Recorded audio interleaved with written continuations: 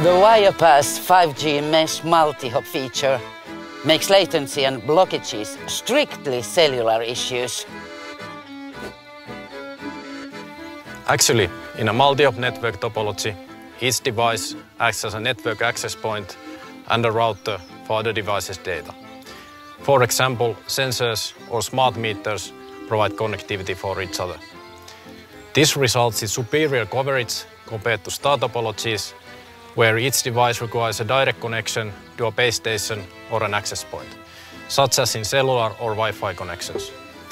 The countless alternative routes enabled by multi-hop operation make the network very, very reliable. This also allows the use of small transmission powers to reduce interference and save device batteries. That's exactly what I just said.